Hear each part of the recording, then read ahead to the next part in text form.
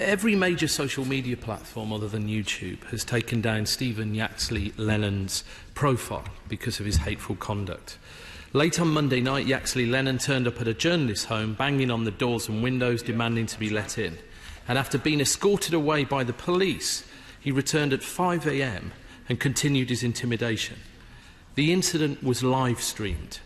He later warned journalists in a YouTube video to expect a knock at the door.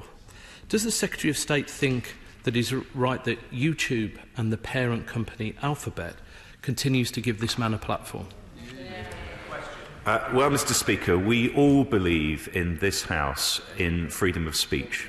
But we all believe too that that freedom of speech has limits. And we believe that those who seek to intimidate others to potentially, of course, break the law because the description that he's given the House this morning is potentially a description of criminal behaviour That is unacceptable. That is beyond the reach of the type of freedom of speech that we believe should be protected. And as I've said, I think that all internet companies, all platforms for this kind of speech need to take their responsibilities seriously. I hope that YouTube will consider this very carefully, consider what he has said, what I have said, and reconsider their judgment.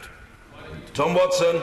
Thank the Secretary of State for that answer, uh, because those who have expressed their opinion online will know that doing so can unleash a torrent of abuse designed to make you wonder whether you should speak out at all. Yes. Now, this week we've heard of female colleagues having panic buttons installed in their homes because of death and rape threats they've received. This culture of abuse, intimidation, and threats undermines our democracy and the principles of free speech. So, can I ask him to consider and even guarantee that the Online Harms White Paper will introduce measures to prevent hate figures, extremists and their followers turning the online world into a cesspit of hate.